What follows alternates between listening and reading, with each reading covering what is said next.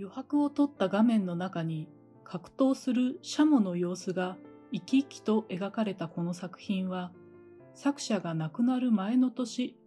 69歳の時に描かれました。本当にうまいものを書けば宣伝もいらなければ紹介もいらない。人を感動させる芸を見せればいい。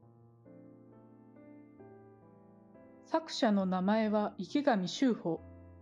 生涯を通して衰えることなく描き続け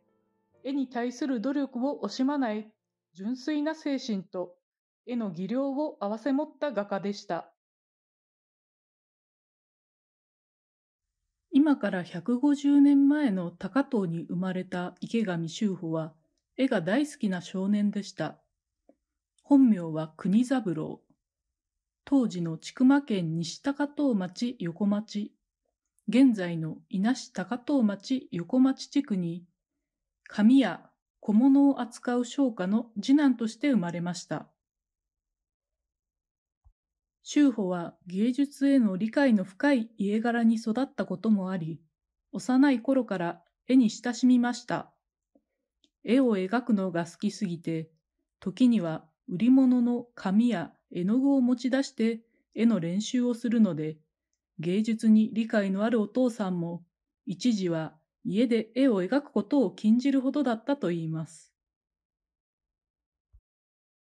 15歳になると、大好きな絵の修行をするために、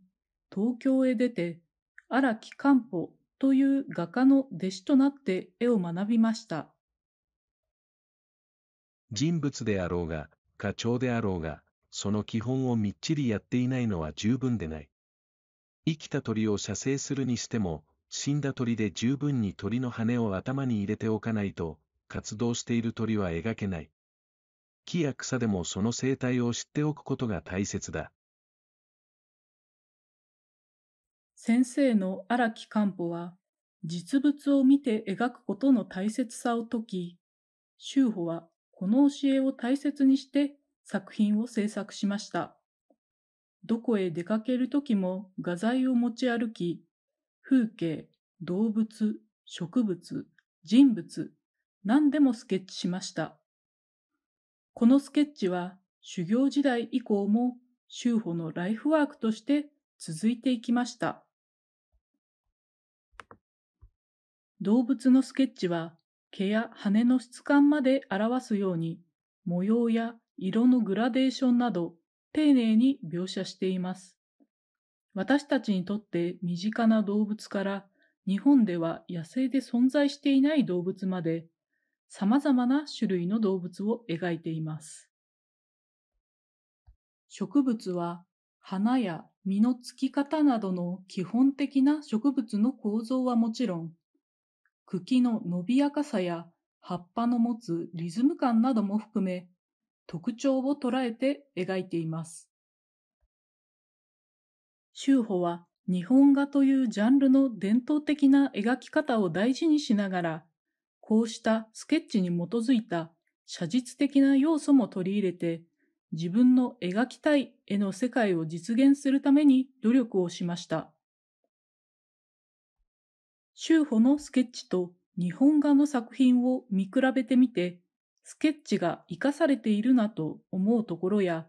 逆にここは違いがあるなと思うところなど、見比べることでも面白い発見があるかもしれません。皆さんは池上修穂という人、あるいは池上修穂のスケッチや作品のどんなところが魅力だと思いますか？今回デジタルブックにまとめた修法のスケッチを題材にして皆さんの考える修法の魅力を様々な形で表現するということに挑戦してみてもらいたいと思います。